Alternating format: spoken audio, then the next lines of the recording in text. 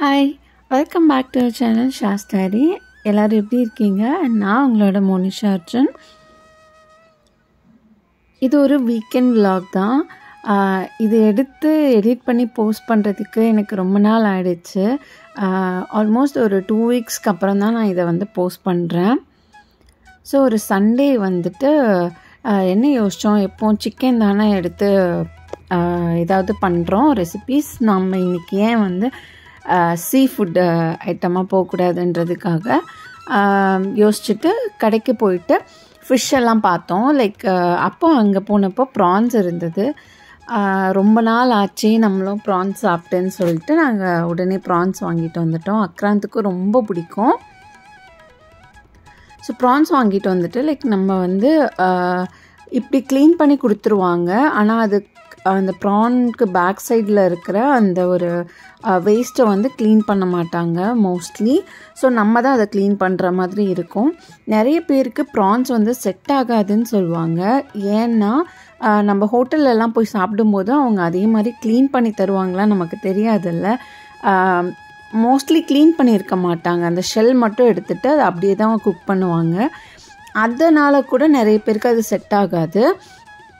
நானும் ஹஸ்பண்டும் சேர்ந்து அதை வந்து க்ளீன் பண்ணிகிட்டு இருந்தோம் ப்ரான்ஸில் ஒரு பெரிய வேலைன்னா அதை க்ளீன் பண்ணுறது மட்டும்தான். மற்றபடி குக் பண்ணுறது வந்து ரொம்ப ரொம்ப ஈஸி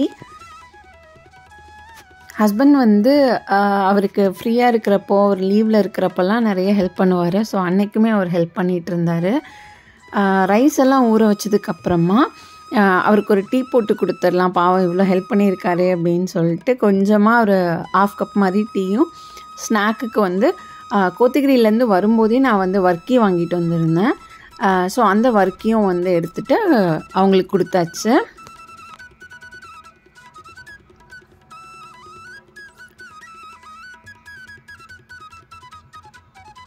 காலையில் போயிட்டு வரும்போது தான் வீட்டில் இல்லாத திங்ஸ் எல்லாம் வாங்கிட்டு வந்திருந்தோம். ஃப்ரூட்ஸ் சுத்தமாக இல்லை தக்காளியும் தீந்து போயிருந்தது. வரும்போதே எல்லாத்தையும் வாங்கிட்டு வந்தாச்சு. இந்த நைஃப் ஷார்ப்னர் வந்து எனக்கு ஒரு லைஃப் சேவர் மாதிரிங்க. என்னோடய கத்தி வந்து அடிக்கடி மொக்கையாக போயிடும். அப்போல்லாம் வந்து ஒரு கல்லை திருப்பி போட்டு அதில் தான் தேய்ச்சிட்டு இருந்தேன். இந்த ஷார்ப்னர் வாங்கினதுக்கப்புறமா எனக்கு வந்து அவ்வளோ ஹெல்ப்ஃபுல்லாக இருக்குது உங்களுக்கு தேவைன்னா நீங்கள் நான் கீழே லிங்க் கொடுக்குறேன். போய் செக் பண்ணி பாருங்கள்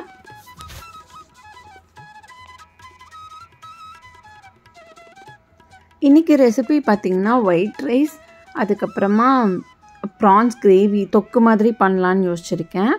ரொம்ப சிம்பிளான லஞ்ச் தான். இந்த மாதிரி சாப்பிட்டே ரொம்ப நாள் ஆகுது.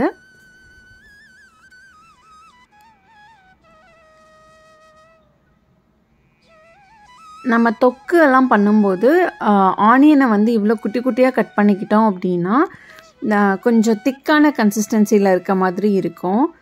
பார்க்கவே வந்து நல்லா இருக்குன்றதுனால நான் இவ்வளோ குட்டி குட்டியாக கட் பண்ணிக்கிட்டேன்.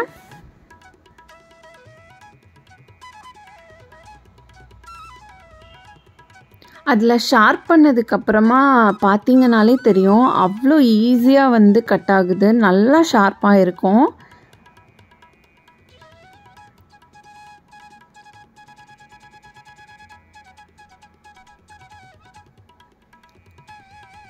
தேவையான ஆனியனை கட் பண்ணதுக்கப்புறமா கொஞ்சமாக தக்காளியும் அதே மாதிரி குட்டி குட்டியாக கட் பண்ணி வச்சுக்கலாம் அப்படின்றதுக்காக கட் பண்ணிகிட்ருந்தேன்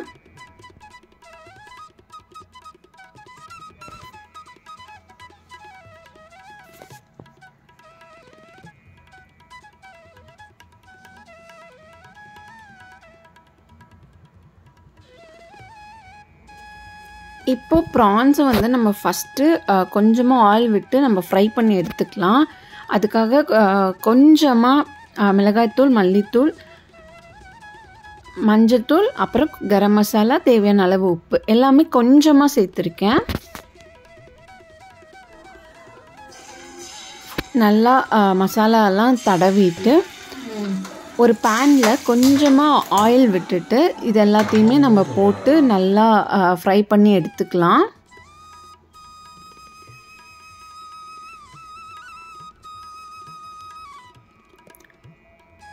நம்ம டேரெக்டாக கூட போட்டு குக் பண்ணலாம். பட் இந்த மாதிரி பண்ணுறப்போ எனக்கு டேஸ்ட் வந்து இன்னும் கொஞ்சம் நல்லா என்ஹான்ஸ் பண்ணி கொடுக்குற மாதிரி இருக்குது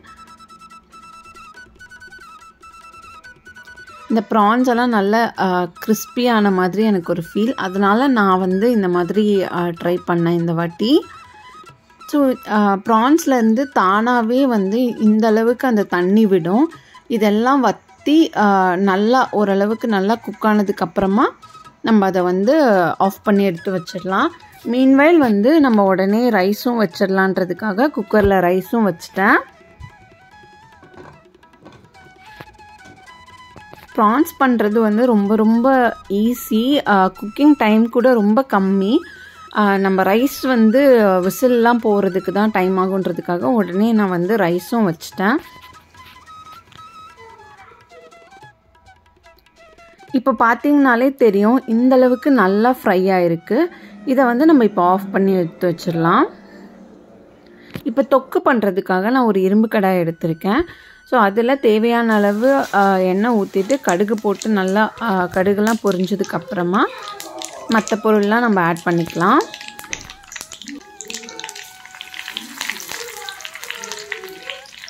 நான் கொஞ்சமாக கருவேப்பிலை ஆட் பண்ணிவிட்டு நம்ம சாப் பண்ணி வச்சுருக்கிற வெங்காயத்தையும் நான் ஆட் பண்ணிக்கிட்டேன். இப்போ நல்லா நம்ம வதக்கிக்கலாம். நான் கொஞ்சமாக உப்பும் சேர்த்து தான் நல்லா வதக்கிக்கிட்டேன். இந்த அளவுக்கு ஆனதுமே இதில் இஞ்சி பூண்டு பேஸ்ட் வந்து தேவையான அளவு சேர்த்துக்கலாம். நான் கிட்டத்தட்ட ஒரு ரெண்டு டேபிள் ஸ்பூன் அளவுக்கு சேர்த்துருக்கேன். இப்போ இதில் நம்ம தொக்குக்கு தேவையான மசாலாஸ் எல்லாத்தையுமே சேர்த்துக்கலாம். மிளகாய்த்தூள் மல்லித்தூள் மஞ்சள் தூள் கரம் மசாலா. இது மட்டும்தான் சேர்த்துருக்கேன்.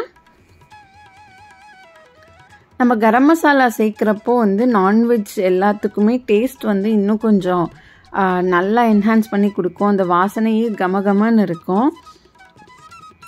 கூடவே தக்காளி சேர்த்து நல்லா வதக்குனதுக்கப்புறமா நம்ம ஆல்ரெடி ஃப்ரை பண்ணி வச்சுருந்த ப்ரான்ஸ் எல்லாத்தையுமே இதில் சேர்த்துக்கலாம். ப்ரான்ஸ் வந்து ஆல்மோஸ்ட் எல்லாமே குக் ஆகிடுச்சு ஒரு ஃபைவ் மினிட்ஸ் நம்ம வந்து கிரேவியில் வந்து நல்லா வேக வச்சு எடுத்தாலே போதும். இப்போ தொக்குக்கு தேவையான அளவு தண்ணி சேர்த்துட்டு நல்லா கலந்து விட்டுட்டு ஒரு ஃபைவ் டு எயிட் மினிட்ஸ் மட்டும்தான் நான் வச்சுருந்தேன். மீன் வயல் நான் வந்து ஆப்பத்துக்கு ஊற வச்சுருந்தேன். அதையும் டக்குன்னு அரைச்செடுத்துடலாமுன்னு சொல்லிட்டு ஃபஸ்ட்டு உளுந்து போட்டு நல்லா அரைச்செடுத்துட்டு அதுக்கப்புறமா பச்சரிசி ஊற வச்சுருந்ததும் தேங்காய் பாவும் தேங்காய் பூவும் போட்டு அரைச்சி எடுத்துக்கிட்டேன் வாய் ரொம்ப கொளருது தேவையான அளவு உப்பும் சேர்த்து கை வச்சு நல்லா நம்ம இந்த மாதிரி கலந்து விட்டுக்கிட்டோம் அப்படின்னா இந்த மாவு வந்து நல்லா புளிச்சு வரும். அப்போ தான் ஆப்பம் வந்து சூப்பராக வரும். நல்லா கலந்து வச்சுட்டு புளிக்கிறதுக்காக வெளியே வச்சுட்டேன். மீன்வயல் நம்ம கவுண்டர் டாப்பும் டக்குன்னு க்ளீன் பண்ணிட்டோம் அப்படின்னா உடனே சாப்பிட உட்காந்துடலாம் ரைஸ் வந்து சூப்பராக ரெடி ஆகிடுச்சு இங்கே தொக்கும் வந்து நல்லா எண்ணெய் பிரிஞ்சு கம கமன்னு சூப்பராக ரெடி ஆகிடுச்சு அக்ரான் குட்டிக்கு கூடவே ஆம்லெட் வேணும்னு கேட்டிருந்தான் அதனால் கொஞ்சமாக கடகடன்னு வெங்காயத்தை கட் பண்ணிவிட்டு மூணு முட்டையை உடச்சி ஒரே வாட்டியாக போட்டு எடுத்துக்கிட்டேன்.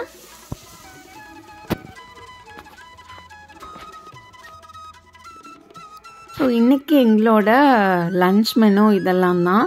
ரொம்ப நாள் கழித்து ப்ரான்லாம் செஞ்சு சாப்பிட்டது எங்களுக்கு அவ்வளோ சாட்டிஸ்ஃபைடாக இருந்தது. இன்றைக்கி சண்டே வந்து நாங்கள் கொஞ்சம் ஏர்லியாக எழுந்திரிச்சு எல்லா ஒர்க்குமே ஏர்லியாக பண்ணிகிட்டு இருந்தோம். என்றைக்குமே நாங்கள் ஒன் ஓ கிளாக் சாப்பிட்டதே கிடையாது. இன்றைக்கி வந்து கரெக்டாக ஒன் ஓ கிளாக் சாப்பிட உட்காந்துட்டோம் எஸ் நம்மளோட லன்ச் மெனு இதெல்லாம் தான். சூப்பராக வந்து நம்மளோட கிரேவி வந்து ஆறுனதுமே இன்னும் கொஞ்சம் கூட திக்காக இருந்தது. ஐ மீன் நம்மளோட ப்ரான்ஸ் தொக்கு. அக்ராந்த் வந்து ஒரு பயங்கரமான ஸ்பைடர்மேன் ஃபேனு அவன் வந்து ஸ்பைடர்மேன் மூவி தான் பார்த்துட்டு இருந்தான்.